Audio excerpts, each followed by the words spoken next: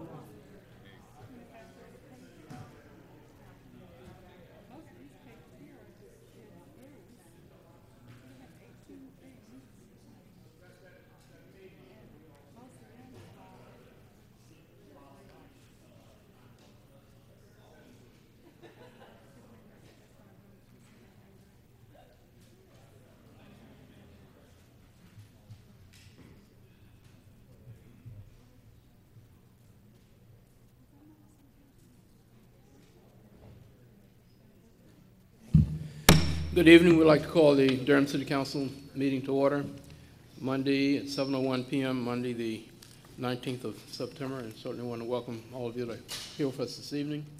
We just take a moment for silent meditation, please.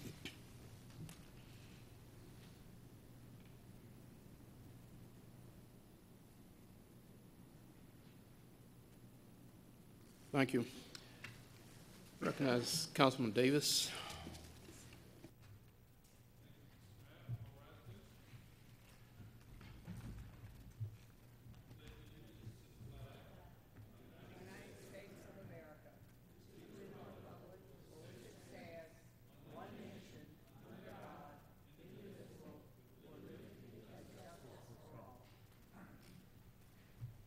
Madam Clerk, could you call the roll, please? Mayor Bell, Present? Mayor Pro Tem Cole McFadden, Present. Councilmember Davis, Councilmember Johnson, Councilmember Moffitt, Councilmember Reece, and Councilmember Schewel.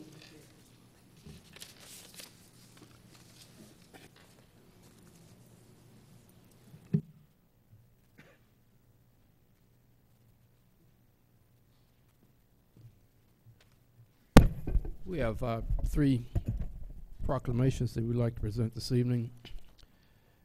The first is Constitution Week and Constitution Citizens Day proclamation. That's Ms. Linda Hester. If you join me, please, uh, President General Davie here, our- chapter. Let me find the proclamation. Okay, great. You ought to be up front.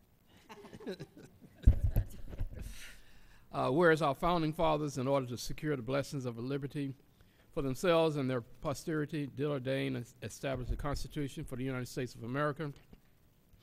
Whereas at the culmination of months of deliberation, debate, and compromise on September 17th, 1787, the Constitution of the United States of America was signed in Philadelphia, Pennsylvania. Whereas September 17, 2016 marks the 229th anniversary of the signing of the Constitution of the United States of America by the Constitutional Convention. Whereas through all its changes over the years, the Constitution's foundation has endured and adapted remains the supreme law of our land. Whereas Constitution Day and Citizenship Day are celebrated on September the 17th each year during the celebration of Constitution Week, September 17th through September 23rd. Whereas the adoption of the Constitution and the independence guaranteed to American citizens, whether by birth or by naturalization, should be celebrated by appropriate ceremonies and activities during Constitution Week. Now, therefore, I, William V. Bell Bell, Mayor of the City of Durham, North Carolina, do hereby proclaim September 17th through September 23rd, 2016, as Constitution Week, and September 17th, 2016, as Constitution Day and Citizenship Day in Durham, and encourage and call upon the residents of Durham to observe this day to bring together government, civic, so- social, and educational leaders to conduct ceremonies and programs that bring together community members to reflect on the importance of active citizenship, recognize the enduring strengths of our Constitution, and reaffirm our commitment to the rights and obligations of citizenship in this great nation. And in my hand, Corporate Civil City of Durham, this is 19th day of September, and I know we said September the 17th, but it's still good we're doing it on the 19th, right? Yes. Okay, so I'm going to present this to you for Oh, any comments you may have. thank you. How are you? Just let her say a thing. We, the, of the General Davie chapter of the Daughters of the American Revolution, would like to wish you a very hearty Constitution Week. Constitution Day was on the 17th. We celebrated it here, downtown Durham and Centerfest, by ringing our bells at 4 o'clock p.m., which is when the Constitution was actually signed. It was a wonderful celebration. We will be celebrating all week because it was signed into law that September the 17th through the 23rd, so we're good, was uh, uh, going to be designated as Constitution Week. We will be going into schools and we will be having various activities with kindergartens up to fifth graders and our wonderful partners in high schools. So uh, thank you for allowing us to come. And again, happy Constitution Week.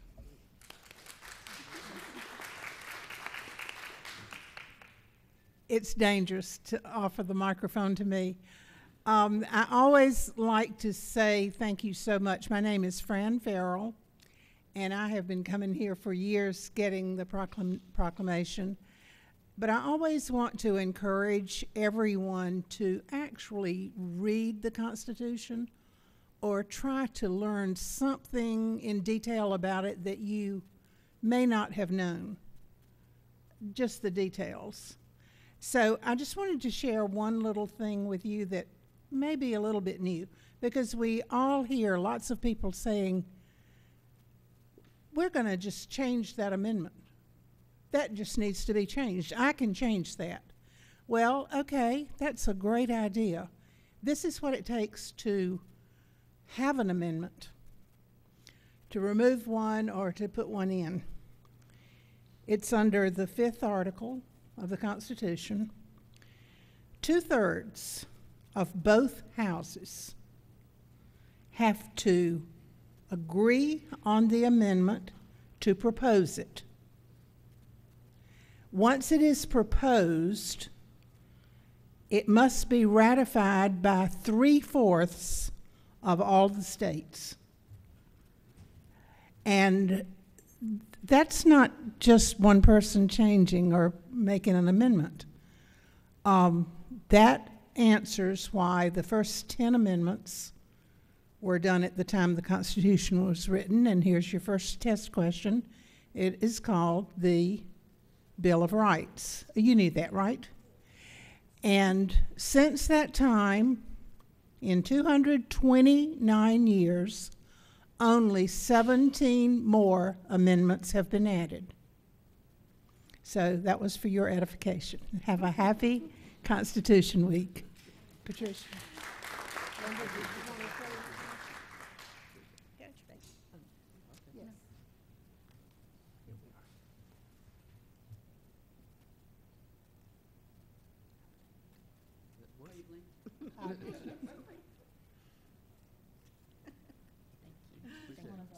Yes, she's a daughter. She's the daughter of AR. All right, great. Thank you so much. Thank you, guys. Appreciate it.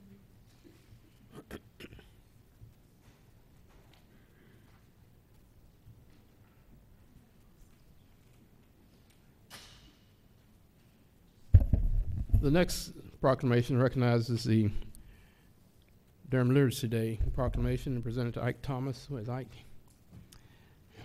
President of the Board of Directors, Gail Faulkner Hudson, past President of the Board of Directors, and Lizzie Furlong, the Executive Director. Great.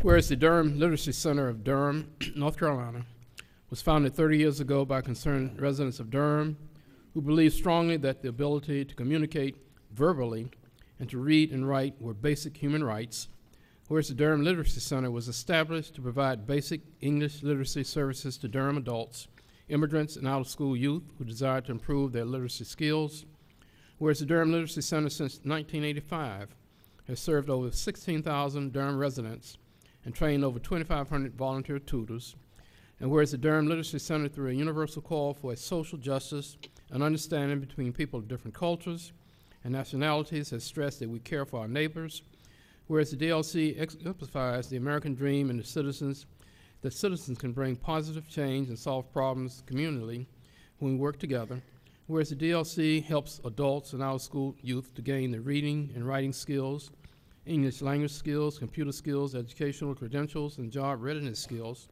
that are needed to achieve economic security, stable housing, food security, adequate health care, and generally well-being, whereas the DLC has been an integral part of this community for three decades, resulting in millions of dollars of increased income, increased tax revenue, a more productive community, whereas the Durham Literacy Center will continue to serve as a leader in literacy in North Carolina for years to come. Now, therefore, I, William V. Bell, Mayor, Mayor of the City of Durham, North Carolina, do hereby proclaim September 29th, 2016 as Durham Literacy Day in Durham and encourage all residents to celebrate the profound impact of volunteerism and literacy that empowers residents to achieve their potential while making a difference in lives, families, and neighborhoods. And witness my hand in the corporate seal of the City of Durham today, the 19th of September. And I'm going to present this to, who am I going to present to? Oh, fine, to the director, great. Any comments you might have? Thank you, Mayor Bell, and thank you, City Council members, for uh, proclaiming this day, Durham Literacy, well, uh, September 29th, Durham Literacy Day. And the reason we chose that day is because we are having a, a large celebration at our organization, and all are invited as we unveil a new mural that we had made on the outside of our building. And it is a pleasure to serve the community of Durham, and I believe all of us here will know that literacy is a basic human right, and we appreciate the sup- support of the community and our volunteers. Thank you so much. You got it, you doing the picture?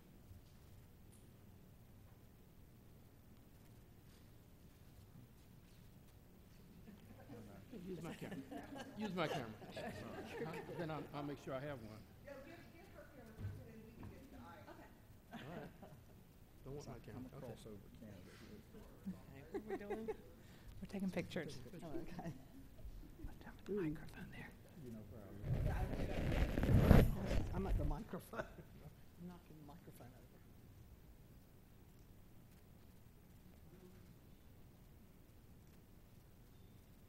Thank you. Appreciate it. Thank you, thank you, Mayor Bell. Thank you.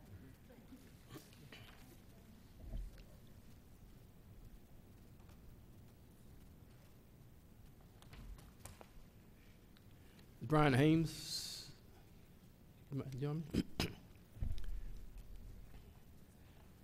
As, as you probably recall, we've um,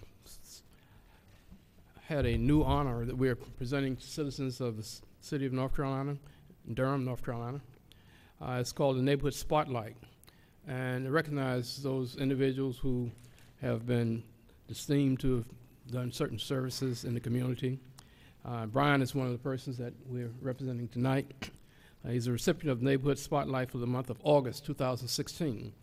Uh, the Neighborhood Spotlight was initiated again to recognize community members that have gone above and beyond while volunteering their time to serve their communities.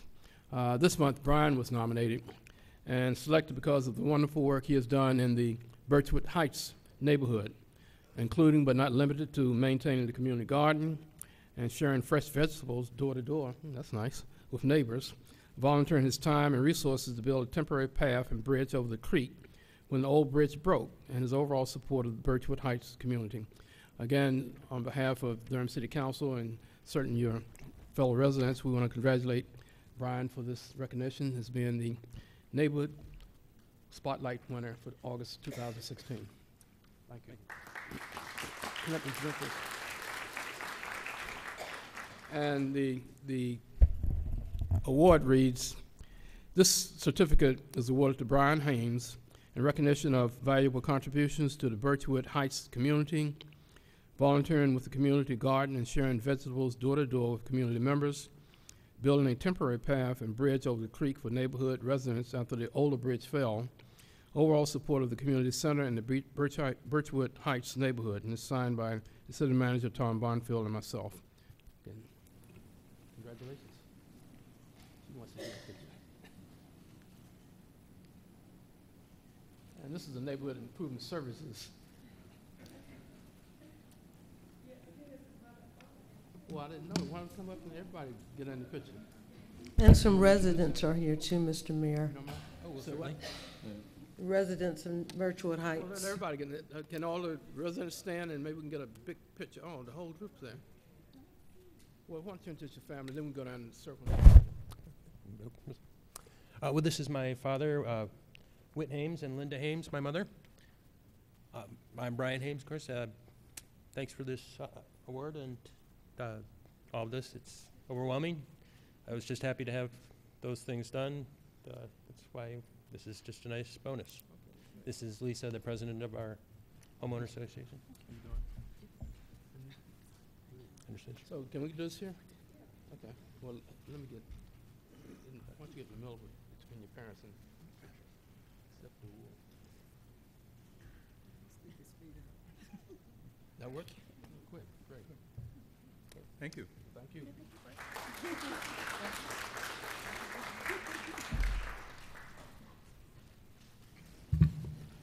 Mr. Mayor, while the, while the folks are leaving, I just wanted to say real quick how much I appreciated uh, the Constitution Week uh, booths that were at uh, Centerfest this weekend.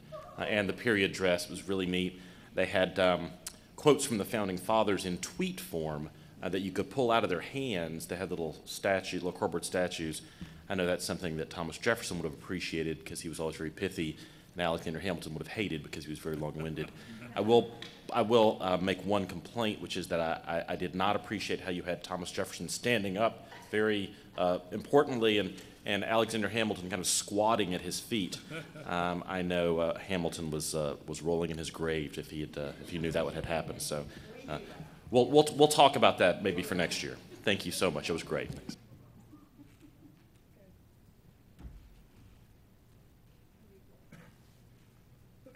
Let me ask if there are announcements uh, by members of the council.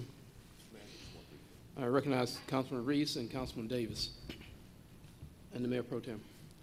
Thank you, Mr. Mayor. Uh, As you know, uh, it is my practice periodically to highlight the performance of our city employees who go above and beyond the call of duty.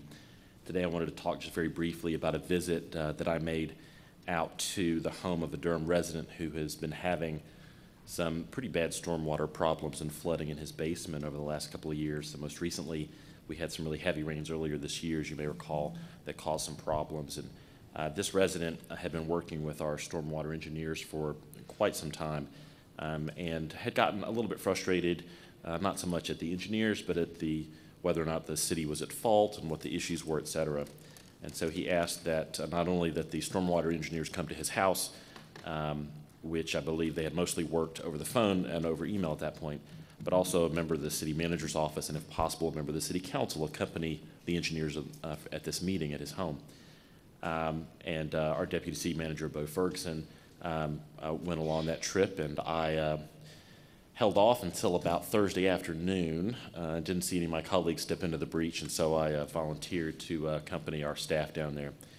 Um, I won't go into the specifics of the concern that the resident raised, but what I will say is this, is that I was incredibly impressed by the two stormwater engineers who uh, went with us to the home. They talked to this resident in clear, um, non, uh, non-jargonese language, uh, really explained the situation to him in a way uh, that anybody could understand, uh, gave him some uh, really great advice about different technology he might install in his home, helped him, or talked to him about the process he had already undergone to apply for flood insurance. Um, and uh, I was impressed not only by them, uh, and also by our deputy city manager, Bo Ferguson. He and I talked about this later, and, and what he told me was, you know, people in the city, when they get frustrated with, uh, with the city and with our staff, often all they want to do is have someone who will listen to what they have to say and speak to them like people. And our staff uh, really rose to that standard that day. So I just wanted to thank our deputy city manager, uh, Bo Ferguson, as well as two of our great stormwater engineers, Graham Summerson and Dana Horncall. Um, they really proved that our city staff is some of the best in the country. So, thank you. Charlie, recognize Councilman Davis. Uh, Thank you, Mr. Mayor. Uh, I too want to sing the praises of some people. Um, Last Saturday, uh, we had a housing resource fair at the Holton Center. Um, And there was, it was a combination of people who have worked with the Housing Task Force of Transformation in 10, and uh, Mayor Pro Tem and I uh, chair that task force. Uh, But they worked also, did a lot of planning with people from uh, that community as well as volunteers from several places.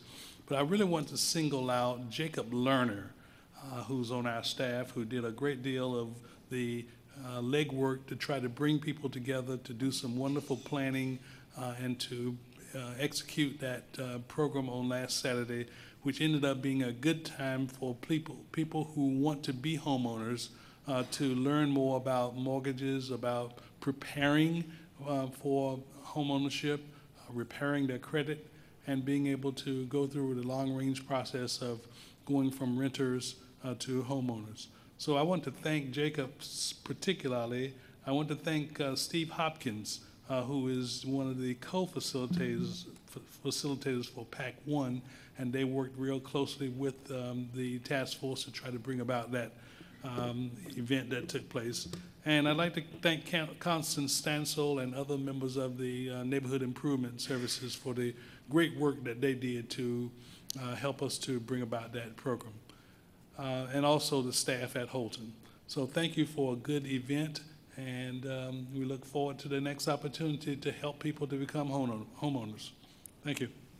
Thank you, Dave. And Eddie didn't mention he was out there doing the Zumba. Was that what you were doing? The Zoom- They, they- they had a DJ there, and uh, Eddie was in the line doing something, but.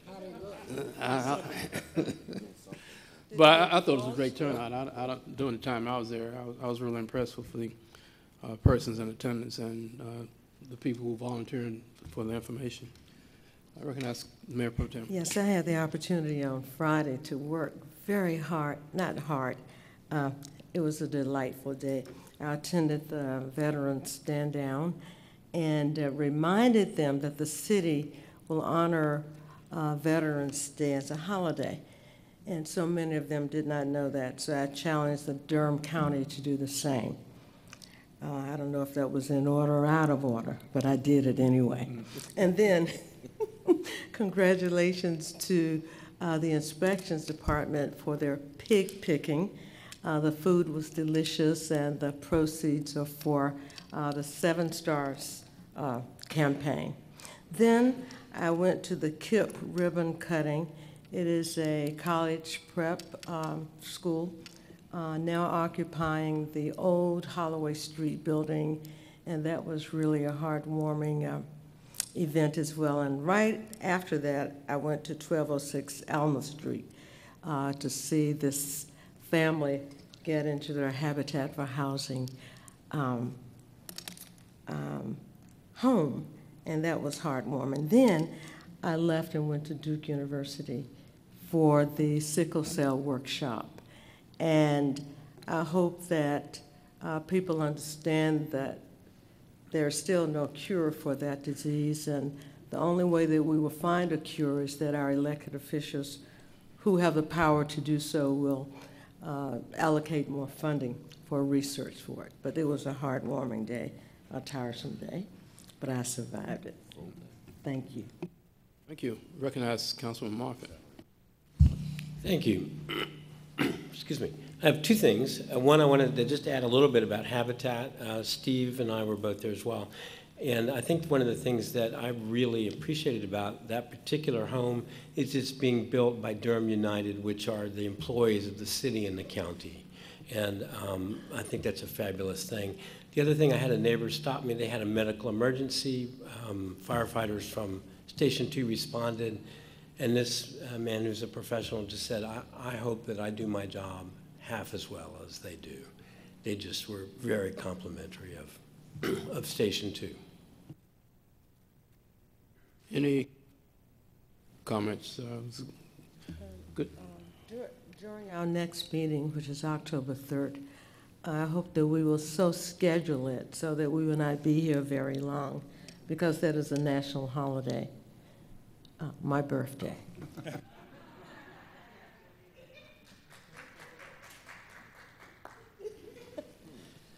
Let me recognize the people who applauded me on that.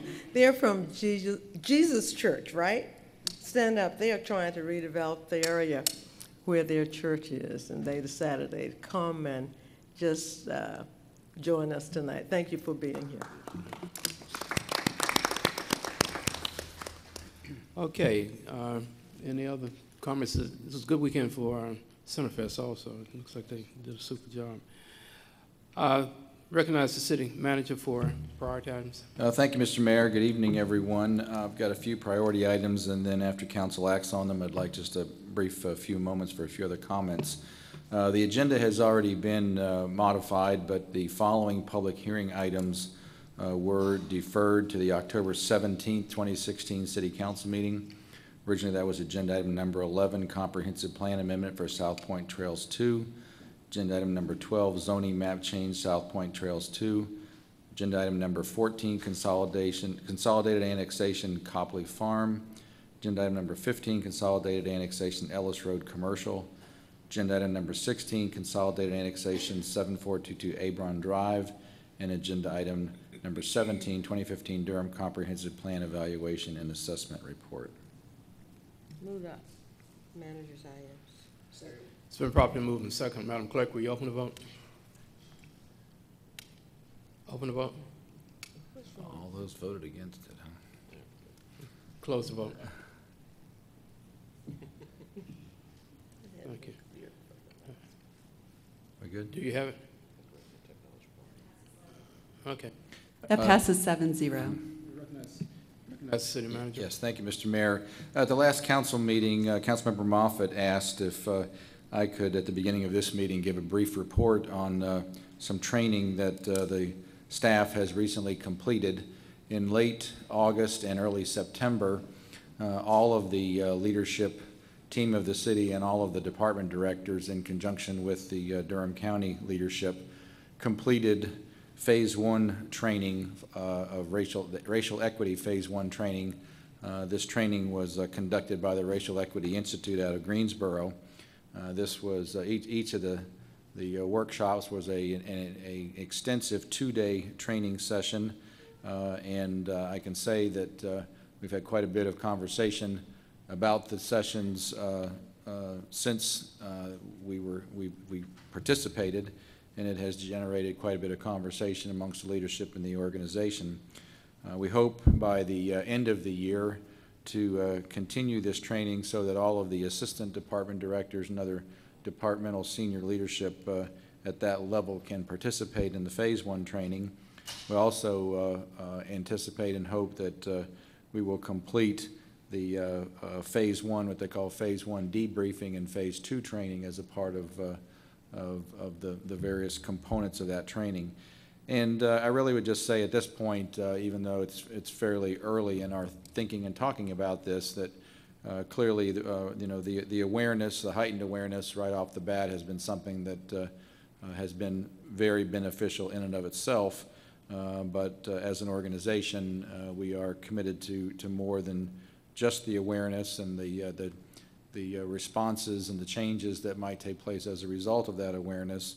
Uh, But we are going to uh, begin exploring, uh, you know, what systems or what evaluation of systems that we need to uh, make uh, and take um, as it relates to our internal organization, and then as well, some of our external processes and systems as well as a result of the training. So we're very appreciative of, of certainly the council's support and encouragement of our participation, and, uh, and look forward to, uh, to continuing to uh, respond and report back to you in, in small and maybe large ways about uh, what impact it's had on us as individuals as well as our organization. Thank you. Uh, Thank you for that report. I recognize the city attorney for any prior items, Thank you, Mr. Mayor. No priority items. and likewise, city clerk. Thank you, Mayor. No items. Thank you. Uh, We'll proceed with the agenda. First part of the agenda is consent agenda, which may be approved for a single vote if a council member pulls an item or someone from the public pulls an an item. Uh, We discuss that later in the agenda. Uh, Item two is the approval of city council minutes. Item four is Recreation Advisory Commission appointment. Item six is a contract for professional engineering services for the Eno River outfall and lift station analysis and upgrade. Item seven is a contract SW forty-nine C RFQ for a consultant project manager. Item eight is a contract amendment for South SW twenty-four ATT for as-built drawings. Item eighteen is an item that can be found on the general business agenda as a public hearing. Second. It's been properly moved and second. Madam Clerk, will you open the vote? And close the vote?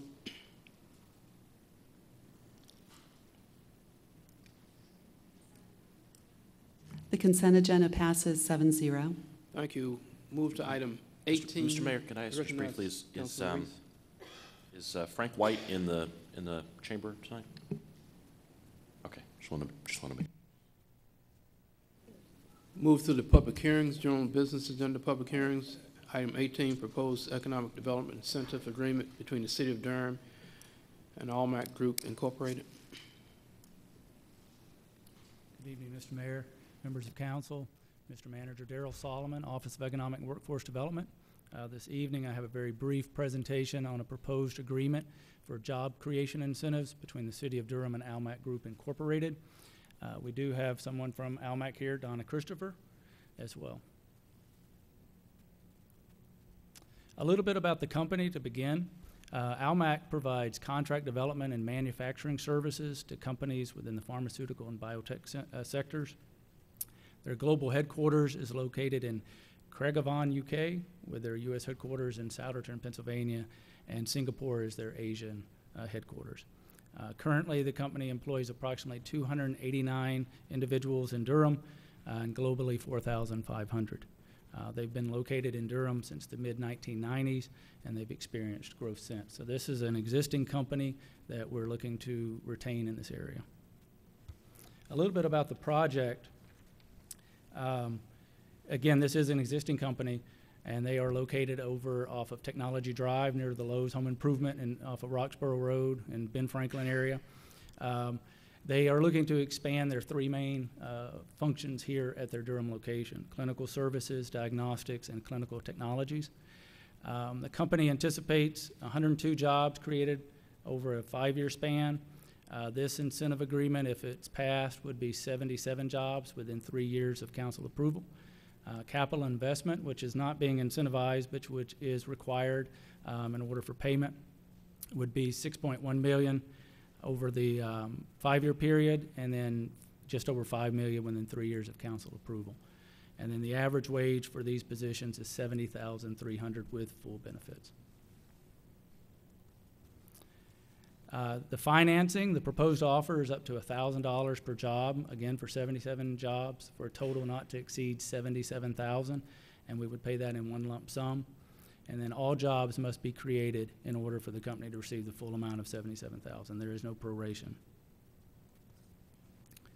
The conditions, Again, the creation of 77 jobs within three years of council approval, uh, the completion of a minimum of 5,179,000 of capital investment within three years of council approval.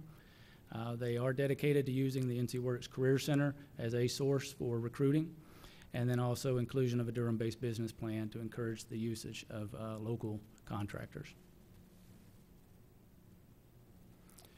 And then incentive, incentive is necessary. The company has indicated um, that if this is not incentivized here, uh, then they do have options elsewhere, primarily at their U.S. headquarters. Um, And then the state of North Carolina is also proposing an incentive requiring a one-to-one local match. So they would chip in the seventy-seven thousand in in addition. And then why this makes sense for Durham taxpayers, um, there's seventy-seven high-paying jobs within a growing industry. Um, There is a potential for continued growth in Durham if the company were to stay here. And then recruitment of a great corporate citizen. Again, they are wanting to hire local through usage of the NC Works Career Center. And then we would be talking with them as well uh, to support the Durham Youth Work Internship Program. And that is basically the presentation at this time. Well, thank you. This is a public hearing. I would ask first, are there questions uh, by members of the council? Recognize the Mayor Pro Tem. Um, Thank you, first of all, for answering the questions that we raised earlier. Yes. But um, of the 18 jobs requiring only a high school degree, are they are, are they full-time positions? They are full-time, yes. So they And are would have- eligible, okay, all the employees And they are would have full-time. benefits as well, yes. Okay. So are they second-chance employee, employers? I would assume it Is this a depends on sec- the, it would depend on the position and the background. Okay, thank you. Are there other questions by members of the council? If not, I recognize Ted Connor and Steve Hopkins. Uh, Ted?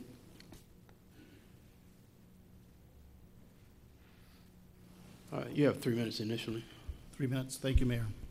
Mayor, Mayor Pro Tem, members of the Durham City Council, good evening. I'm Ted Connor. I- That was a fast three minutes. Uh, yeah. That was great. I think it was Steve reset that for me. Uh, Anyway, uh, I'm Ted Connor with the Durham Chamber of Commerce, and uh, I always like to start off by saying what's its context to economic development in this project. And one of the things I like to say, a key to successful economic development is working to attract and develop job opportunities for a broad range of a community's residents. In this case, the Durham Chamber is particularly sensitive to the wishes of Durham's elected bodies, both the City Council and the Board of County Commissioners, uh, to the needs of the community, to the job needs of the community. Uh, to and our goal is really to attract um, career opportunities that are, are really oriented towards our, all of our residents, those with a college degree and those without a college degree. It's important that we provide that broad range of job opportunities.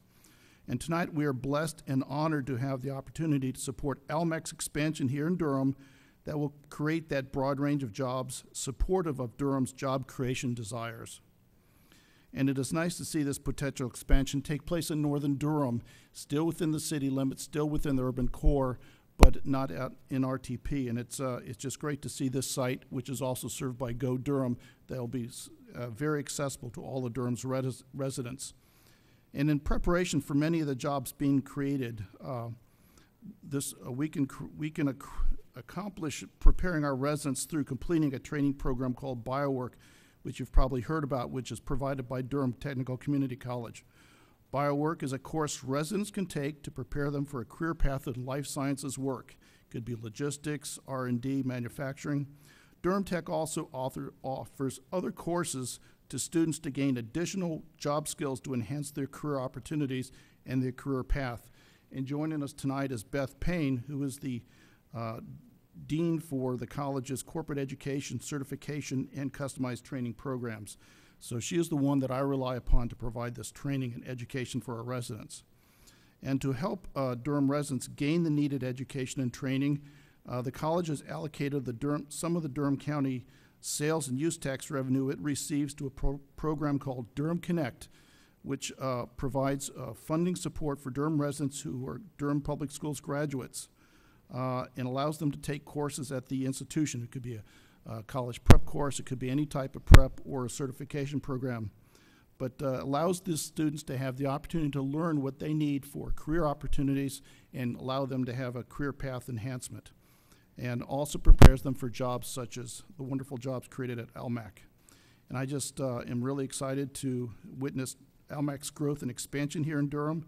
They will be a contributor to our current and future economy, strong supporter of our life sciences cluster here in Durham, and I thank uh, you for your support tonight. Thank you. Recognize uh, Steve Hopkins. Steve, you have three minutes. Thank you. Uh, good evening, everybody. Uh, my name is Steve Hopkins. I live at 6, 609 East Main Street. And I would love to support this uh, contract. The only concerns that I have and Pac One has If uh, how many, I know you said it's going to create 77 new jobs, but how many of them are going to be actually Durham residents? You know, and two, uh, clarification, are you willing to hire ex-offenders? Because we do have a growing ex-offenders population and we need to find jobs for them too, or they're gonna be back doing, uh, reaping havoc in our neighborhoods. Uh, so those are the concerns that we have. Thank you. Thank you. Let me ask, are there other members of the public that would like to speak on this item, this being a public hearing? Uh, Let the record reflect that no one else asked to speak. I will declare the public hearing to be closed, matters back before the council. Recognize Councilman Schewel. Thank you, Mr. Mayor. I was, first of all, I was just glad to hear that uh, Beth Payne is a dean. That was new to me, but that's great, Beth. Um, I know you're a great dean. Uh, Daryl, uh, thank you for, for presenting this, and it's been great. Uh, and now that, since Kevin's gone, you, I know you've had some new, you and Grace and others have new responsibilities in this area, but really appreciate your stepping up to the plate. Um, Steve asked two questions. One I think you answered in terms of the second chance employment. Uh, but uh, could you uh, describe uh, the answer his other question concerning uh, Durham employees' opportunities to get these jobs? Thank you very much. Yes, I mean, as far as the, the opportunities for Durham residents, as Ted Connor with the Chamber mentioned, there is a, a swath of, of different types of opportunities. Um, eighteen of them will be, um, positions that do not require a college degree. The others will. So there will be opportunities that provide full-time benefits. Um, and they will be using the NC Works uh, Career Center. We'll be working with Donna Christopher to get the HR contact so that we can meet with, you know, our team from NC Works Career Center can meet with them so that we can get every job posted. And, um, and these 77 are the, only the ones that would be incentivized. They would also have other opportunities that probably are not included within that down the road as well. Thank you very much. Thank you, Mr. Mayor. Any other questions, comments? Recognize Councilwoman Johnson and Moffitt. Thank you, Mr. Mayor. Um, I just wanted to say that I have um, been in conversation with um, the city attorney's office and with other folks on council about whether we could require local hiring for some of our jobs incentives agreements. So that is something that the city is looking into, guaranteeing that a certain number of those jobs um, would be available to Durham residents. And I hope to have um, more information about that as we move forward. On that, uh, the manager and I were in Charlotte this past week, uh, Financial Infusion Conference.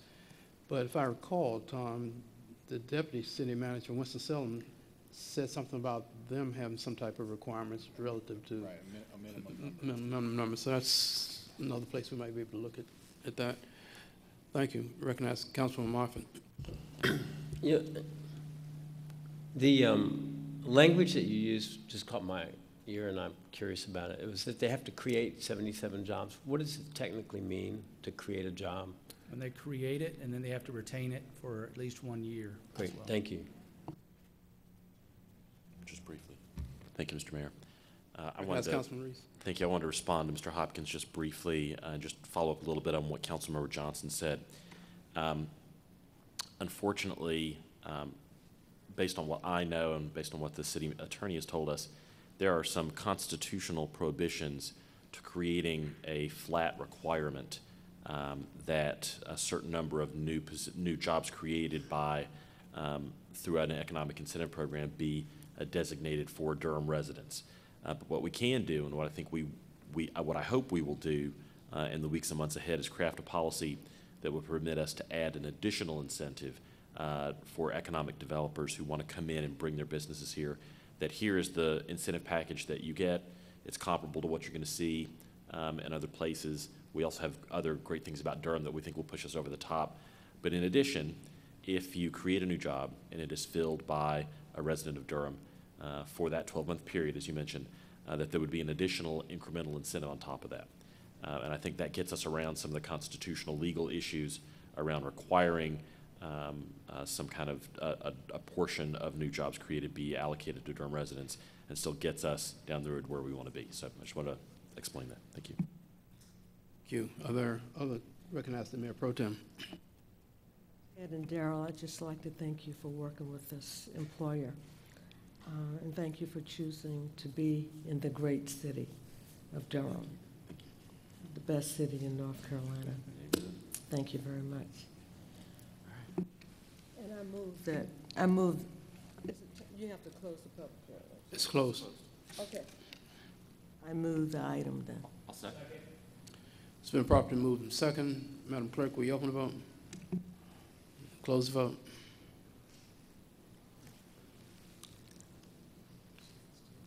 The motion passes seven zero. Thank you. Are there other items to come before the council? If not, we adjourn at seven forty-five PM. Thank you.